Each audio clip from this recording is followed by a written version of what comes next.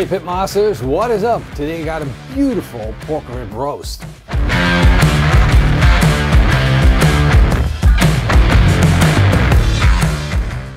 Look at this beautiful pork rib roast. Absolutely gorgeous. Nice big fat cap on there. We're gonna be cooking this up in our barbecue, which is not, not here yet. It's supposed to be here. We gotta, we gotta wait for that barbecue. They're coming. Awesome. I've been waiting for this. This is a good opportunity. Hey. Barbecue. Yeah, man. Nice. You can do it. Thank you very much, brother. You're welcome. Thank you. Uh, uh, you gonna help me set it up? I'll help you set it up. Oh, You great. bet. Nice. So this is the Gateway Smoker. Awesome. My Gateway drum smoker. Gateway drum smoker. Gateway Drum Smoker, very important. So this is my first time actually cooking on a Gateway Drum Smoker, so I'm excited to get this thing started. Brad's here to help me set it up, and uh, well, let's get this thing fired up. We'll put in a fresh batch of charcoal and light it up. And uh, now what? now what? Uh, we just let some of the charcoal get lit, and then once that happens, put the lid on there, let it come to temperature. You're ready to cook. It's way too easy. It's it's surprisingly simple. It's too easy. I can do it. Thank you for setting it up for me. Thank you for uh, bringing our, the smoker over, and uh, I'm gonna have a lot of fun. Hey, enjoy the grill. Thank you very much. So I'm really glad that we got the delivery of this drum smoker just in time. It's a beautiful, beautiful drum smoker, this Gateway drum smoker. And I'm just like, I'm used to these ugly drum smokers, but this is like, it looks really good. It feels really sturdy. And I think it's, it's gonna work perfect. It's already set the temperature. We've got it running between 280 degrees Fahrenheit, which is uh, 140 degrees Celsius and 300 degrees Fahrenheit, which is like 150. So what we want to do is we want to have a roasting temperature, let the meat slowly come up to temperature, and then when we're finished, we're going to sear it off. To make sure that we got the perfect temperature, we're going to use the new Flame Boss 400 temperature controller. Let's get it out of the box and set it up. Look at that. That is a nice solid looking controller. I got the universal version with all kinds of adapters.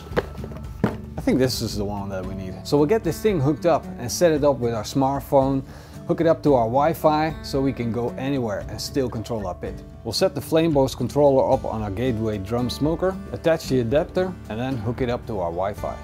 We got beautiful pork rib roast and we really want the flavors of the pork to speak. But we're going to add some flavor to it as well. I got a nice rub to go with it.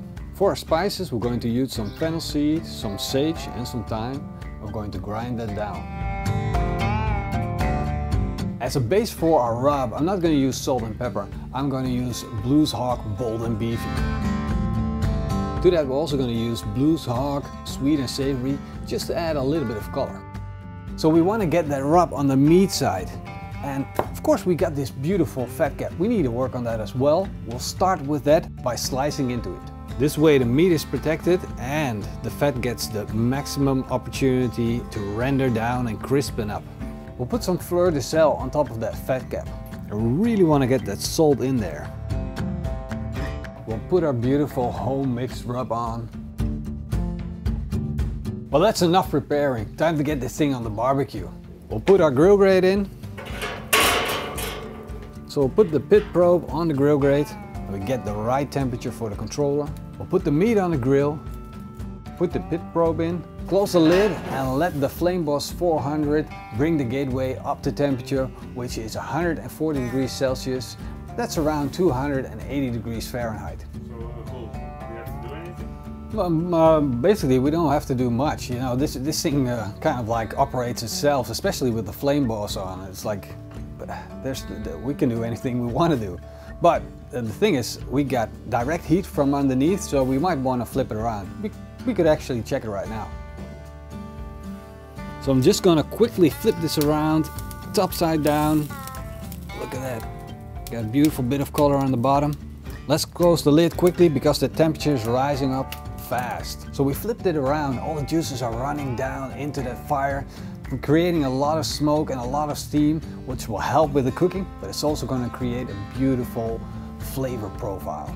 We've been smoking our pork rib roast fat side down for a while now. We want to make sure that the fat doesn't render down too much and we get that dark smoke. We want to keep it light. Ooh, look at that. We got a beautiful crispy fat. It rendered down, it crispened up. It's looking really, really good. Now we want to wait until the core temperature comes up to 63 degrees Celsius. We reached our desired core temperature of 63 degrees Celsius, so it's time to take it off. Look at that, what a beauty. Look at that. Look at how beautiful it looks. It's absolutely fantastic. But what we want to do now is just give it a little final sear on that crust. I'm leaving the lid open to the Gateway drum smoker and this is gonna come up to temperature really, really quick. I'll take off the flame boss and you can see that the charcoal is getting up to temperature really, really quick. When it's good and hot, we're going to put our rib roast straight on there.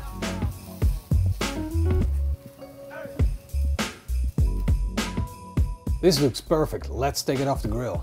That fennel, it just comes out, but together with these blues hog rubs, it likes, it pops open in your nose. Fantastic. And then listen to this. Super, super crunchy. I'm just gonna pick one off here and eat it. Oh. that rendered out fat, mm. to me, that's the best part. Let's slice into it.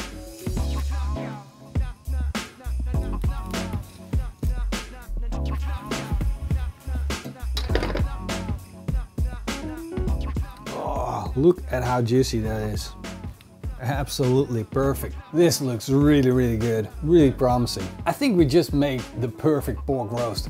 We got some of that smoke ring on there, a little bit of pink on the outside. We got that crunchy and crispy pork fat, which is really salty and tasty. And then the rub on the bottom. Oh man, this is gonna taste amazing.